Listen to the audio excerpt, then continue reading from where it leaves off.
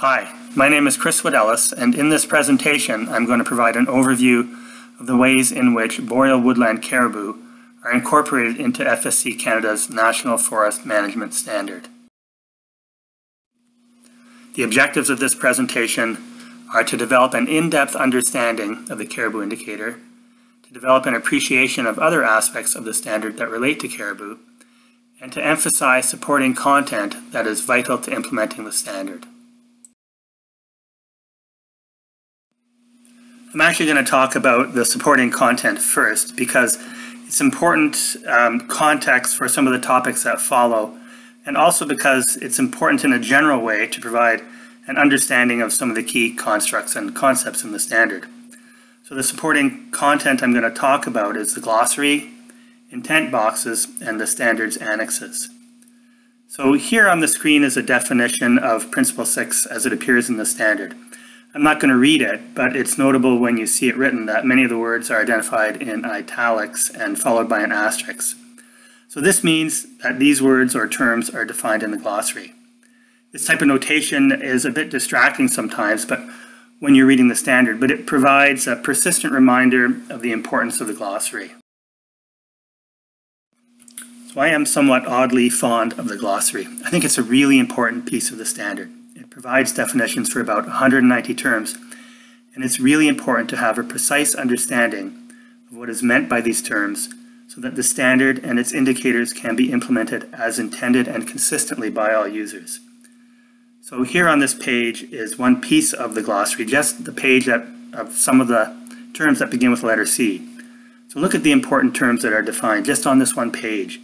Consensus, conservation area network, critical habitat, really important concepts that are used in many places through the standard.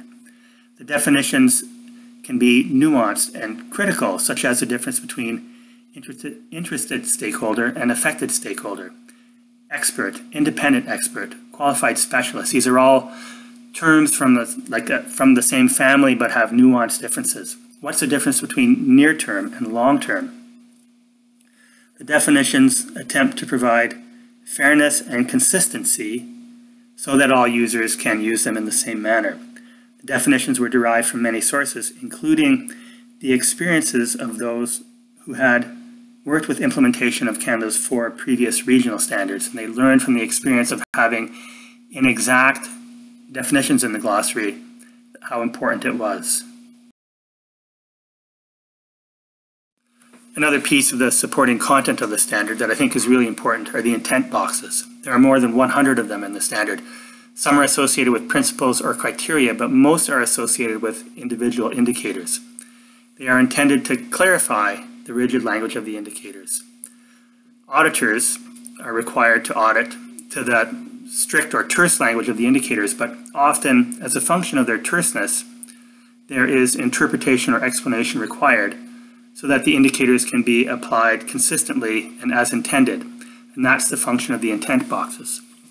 So here is a snippet of an intent box from the caribou indicator that explains how to deal with circumstances when a single management unit extends into more than one caribou range, a relatively common occurrence.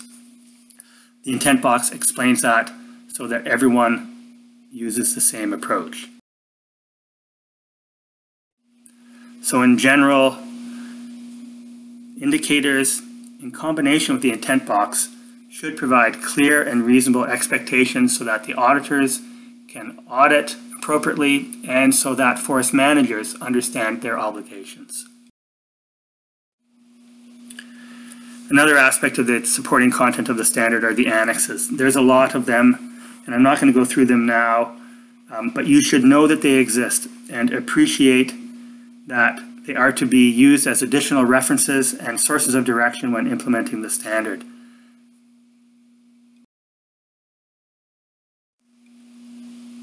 So now I'm actually going to talk about the caribou in the standard. Uh, first a bit of background, and then I'll talk about the caribou indicator itself, and then on to other parts of the standard that may have an impact on caribou habitat. In this presentation, you'll hear me make reference to three important documents that portray the recent thinking about boreal caribou ecology and management. These are the 2011 scientific assessment to inform the identification of critical habitat by Environment Canada, the 2012 recovery strategy and an update from 2019, and the 2016 range plan guidance document. This slide and the next couple just provide some context into understanding the key scientific basis of the caribou indicator. So this graph is taken from Environment Canada's 2011 scientific assessment of critical habitat. It shows the relationship between total habitat disturbance on the x-axis and mean recruitment measured as cows, calves per 100 cows on the y-axis. So disturbance here on the x-axis includes both fire or natural disturbances and anthropogenic disturbances such as roads, linear rights of way, and forest harvesting. Um, however, this relationship is most strongly influenced by anthropogenic disturbance, much more so than by fire. So this graph shows that there is a striking and strong relationship that has it shows a negative association between disturbance and recruitment. There are lots of interesting nuances to this work, such as definitions of disturbance, use of buffer zones. Uh, to get a better explanation of these, refer to the scientific assessment document. The same data that was used to produce the previous graph is the basis of this relationship that shows a disturbance-based population growth function with levels of total disturbance on the x-axis and the probability of observing a stable or positive growth over a 20-year period on the y-axis. So the scientists who developed the federal recovery strategy identified as an acceptable benchmark achieving a 60% probability of population growth or stability. And this equates to a 35% level of disturbance. So this is very much a risk management approach. Even with disturbance limited to 35% at the range level, the probability of population stability is only 60%. So this 35-60 um, relationship is a key component of two of the three options of the caribou indicator that I'm going to talk about in a while, and has implications for the third as well.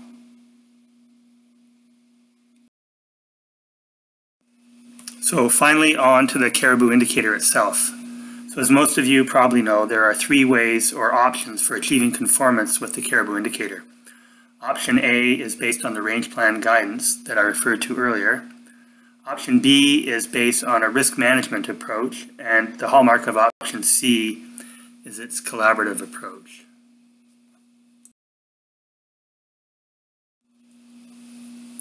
Option A, or the range plan guidance, is actually the simplest of the three options in that it pretty much requires adhering to the direction of um, Environment Canada, Environment and Climate Change Canada's Range Plan Guidance document. It requires that caribou habitat management be undertaken in a manner consistent with the content, measures, and objectives identified in the Range Plan Guidance. It specifically identifies requirements related to three aspects of caribou management. So habitat, population, and engagement.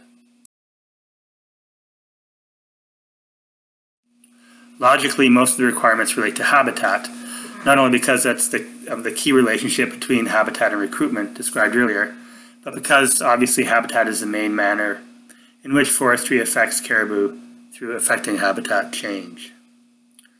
The habitat requirements specifically mentioned in the indicator require an assessment of current habitat, critical habitat and disturbance levels, identification of important habitat and landscape features, habitat management measures that will support self-sustaining populations, a demonstration of how at least 65% undisturbed habitat can be maintained over time, and the monitoring of habitat condition.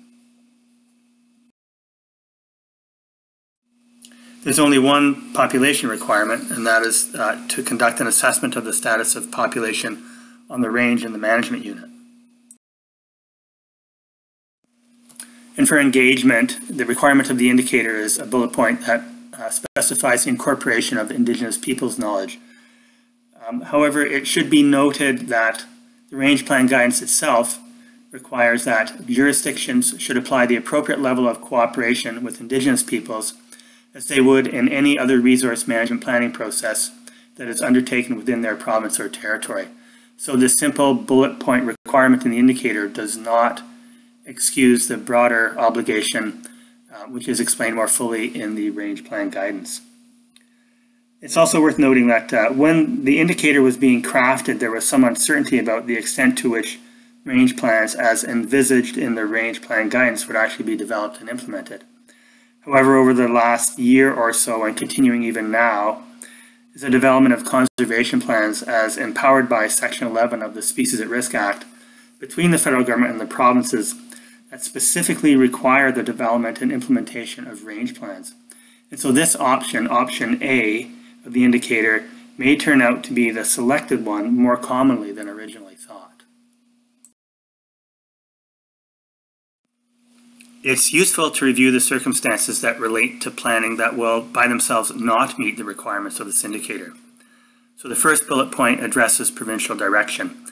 This is topical because there are circumstances in which provincial direction requires harvesting of forests in large blocks, sometimes in the thousands of hectares. So the logic of this approach is that by harvesting in large blocks, large areas of mature forest suitable as caribou habitat will be available in the future. This approach in itself is not sufficient to meet option A. Option A and the range plan guidance require a demonstration of how at least 65% undisturbed habitat will be achieved and maintained. So the two approaches, so that is harvesting in large contiguous blocks and the maintenance of a 65-35 split, are not necessarily inconsistent, but in order for the blocking approach to meet the requirements of this option, it must also be accompanied by direction that addresses the maintenance of a 65-35 split, so keeping 65% undisturbed habitat. The second bullet point notes that the simple existence of a Section 11 agreement by itself is not sufficient, nor obviously is the commitment to develop a range plan. And the mere existence of a range plan is also not sufficient. Implementation is the key to this indicator. So the only circumstance in which this indicator can be achieved is through implementation of a range plan consistent with range plan guidance.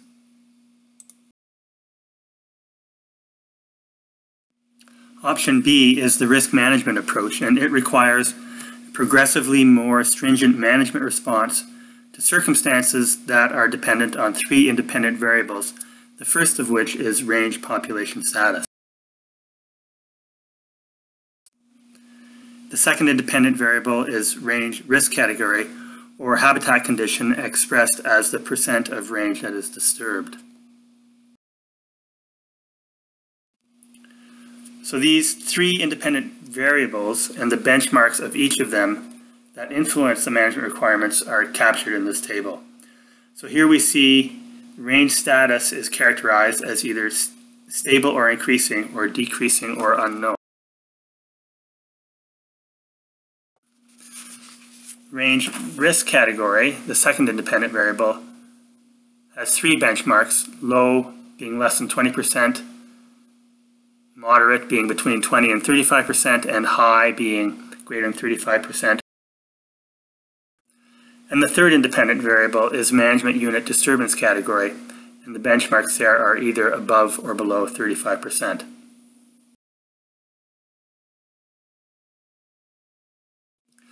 So how this works is that depending on where the management unit sits based on the combination of these three benchmarks, you identify what cell in this table the management unit is in. And then the management obligations are identified by the number or the numbers in the cell. So for example, if the management unit is in the relatively benign circumstance of having a stable or increasing population, low disturbance on the range, and less than 35% disturbance on the management unit, the obligation associated with requirement number one is required, and that is just to implement carefully planned forest management that follows a precautionary approach. But as circumstances become more serious or dire, as these arrows show, the obligations become increasingly stringent. So for example, if circumstances comparable to the previous example prevail, except that management unit condition has disturbance of greater than 35%, the obligations include the requirement to manage access so as to minimize impacts on caribou habitat. And as the next three slides show, the requirements become generally greater in number and definitely more stringent as circumstances in the management unit and range become less favorable.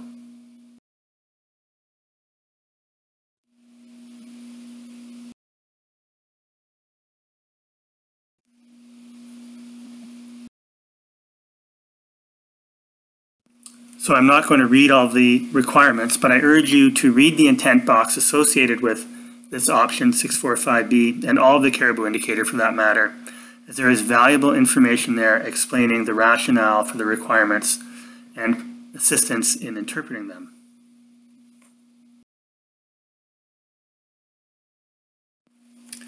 I would like, however, to specifically mention a couple of the requirements. So requirement number four relates to obligations regarding the maintenance of undisturbed portions of the range. This occurs in a number of uh, cells. It requires a long-term commitment to maintaining at least half of the present undisturbed habitat, and this will obviously require significant planning efforts. It also requires that the level of disturbance in the remaining areas can only increase in the near term when as part of a broader perspective that includes a shift to less than 35% at the management unit level in the coming 30 to 50 years. So these are pretty significant requirements.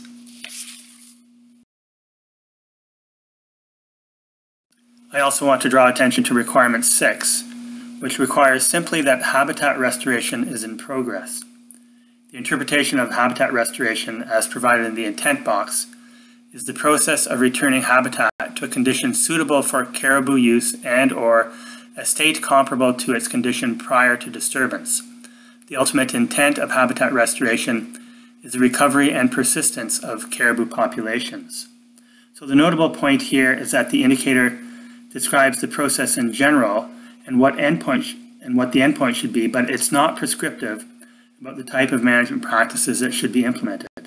So therefore, forest managers are empowered to implement appropriate measures to be consistent with the process of returning habitat to a condition suitable for habitat for caribou use without necessarily adhering to prescriptive methodological requirements.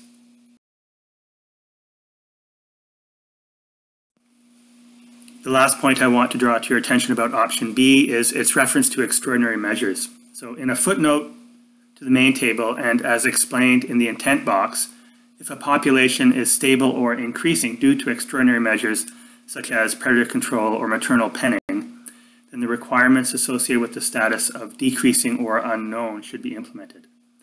This is not intended to cast aspersions on or affect decisions about whether or not to implement extraordinary measures, but merely to recognize that the results of such measures while they are being implemented may give an inaccurate impression of the state of caribou circumstances on a forest, and that the more stringent requirements associated with uh, range population status of decreasing or unknown should be implemented.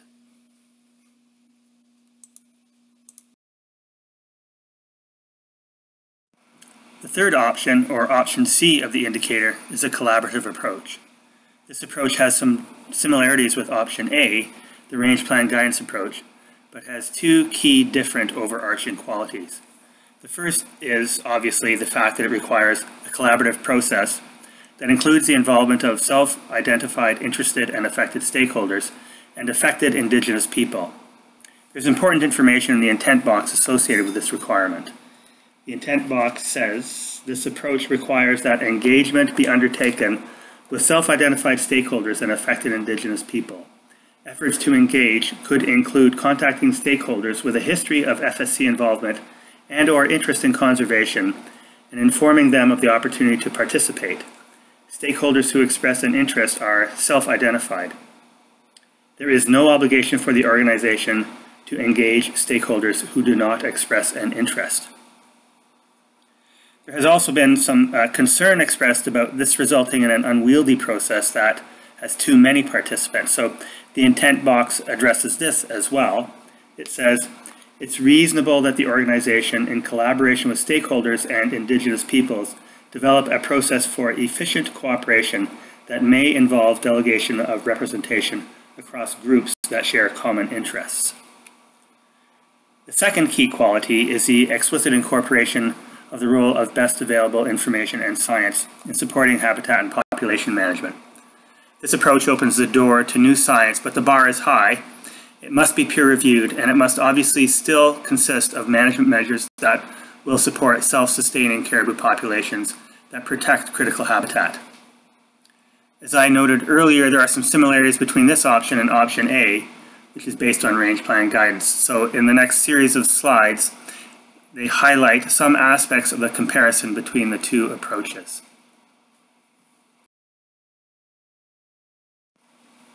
Regarding Indigenous peoples, the requirement of option C is to incorporate respect for and effective engagement of Indigenous peoples, which is quite a bit more expansive than the requirement of option A, which is to incorporate Indigenous peoples' knowledge. Regarding stakeholders, option C requires the incorporation of knowledge from stakeholders, where stakeholders are not mentioned in option A. For disturbance, option C opens the door to incorporating a threshold informed by experts to achieve a self-sustaining population. This is more flexible than the requirement of option A, uh, which follows the range plan guidance 65% threshold.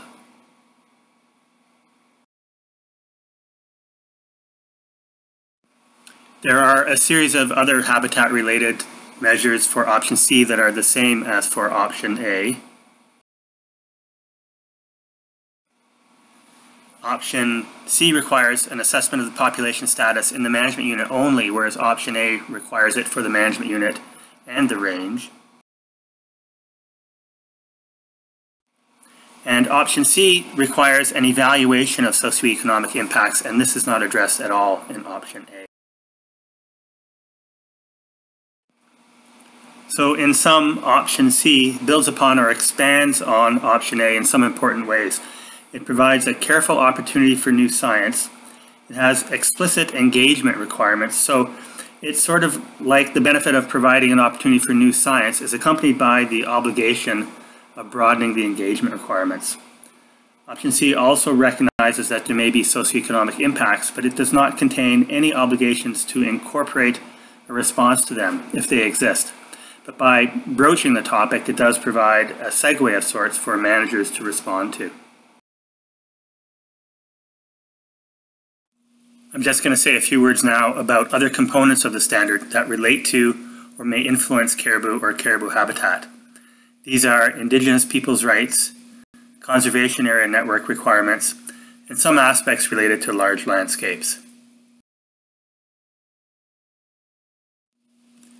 Indigenous peoples' involvement is mentioned specifically in a couple of the caribou indicator options that I've mentioned earlier, and there is also recognition of the social and economic concerns of Indigenous people in Indicator 642 that relates to species at risk planning more generally. More broadly, however, are the rights of Indigenous people as dealt with comprehensively in Principle 3 and the topic of FPIC or free, prior, and informed consent that is embraced by the standard in a number of places. These rights permeate many aspects of the standard and I strongly advise you to make the time to take in the presentations that Pamela Perreault has prepared on these.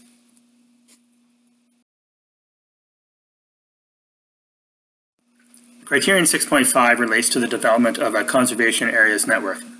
It's a somewhat complex criterion that relies on a consensus-based process and through a number of somewhat prescriptive steps related to gap analysis, the conservation needs requires the identification of sites for which forest managers have the responsibility of working within their sphere of influence to attempt to move to regulatory status. The key point here is that there can be opportunities for overlapping accomplishments in which conservation area needs can be addressed through the identification of areas that are also important for caribou habitat.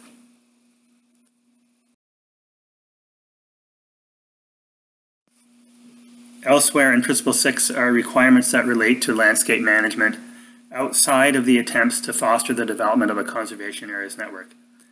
So the requirements in criteria 6.1 and 6.8 address identification and implementation of targets related to the maintenance of landscape conditions within a range of natural variation. These are to include old forest habitats that are frequently important for caribou.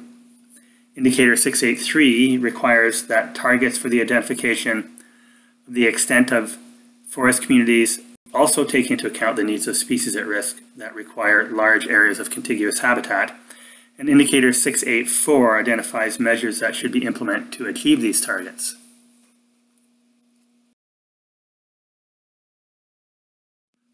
I'll just say a bit about high conservation values. So uh, most people are probably aware of the concept of high conservation values or HCVs. This is one of the hallmarks of FSC's system.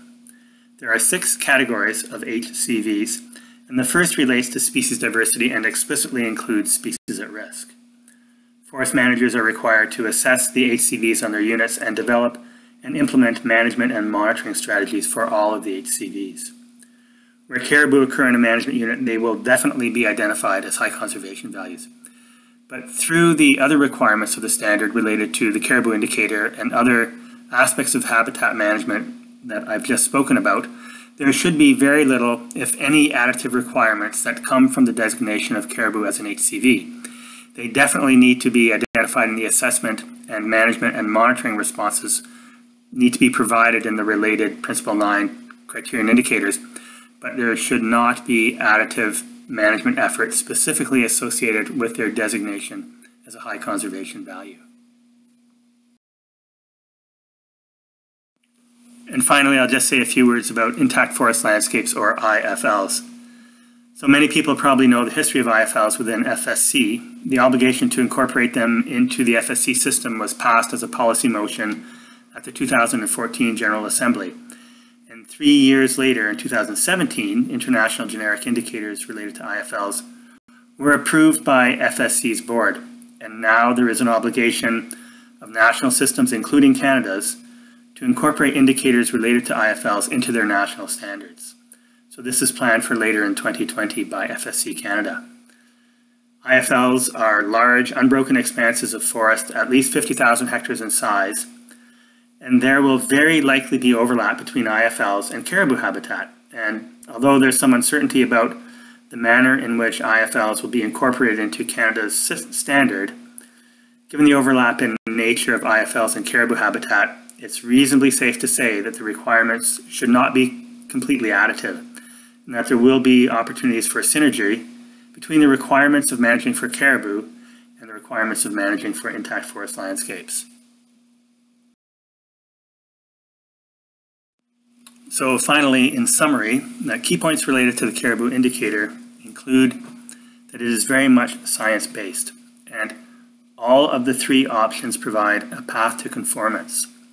There is flexibility for forest managers to identify the option that best suits their circumstances and each, when implemented as intended, will safeguard caribou habitat and contribute to the return of habitat to levels consistent with self-sustaining populations. The key concepts of the indicator and other aspects of the standard uh, related to caribou habitat relate to management of disturbance, providing links between management unit and range condition, their obligations to plan and implement for caribou habitat, the need and strength associated with collaborative approaches, and the synergy between various parts of the standard in working towards improved circumstances for caribou habitat. So thanks for taking the time to view this presentation. I urge you to review the components of the standard related to caribou carefully, including the intent boxes and the terms defined in the glossary. If you have any questions, you can contact FSC at the email provided here. Thanks again, and goodbye.